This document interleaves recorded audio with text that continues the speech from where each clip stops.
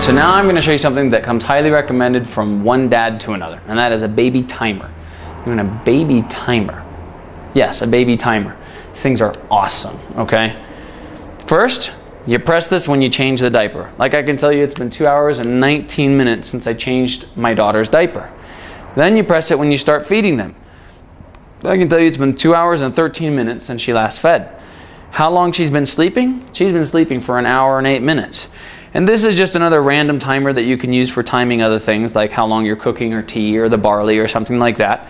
And uh, it's also got a built-in flashlight, which is cool at night when you're moving around and almost killing yourself, tripping over stuff. And then also it has a left breast and right breast indicator. Now, unfortunately, Dad, that's not for you. That's for Mom because they have to switch boobs on each feeding. So, what am I going to say? Anyhow, do get one of these things because the first couple weeks you're going to be so zombied out. You're not going to remember if you fed her before she was born or after she was born. So get one of these things. Trust me on this one. You're going to need it.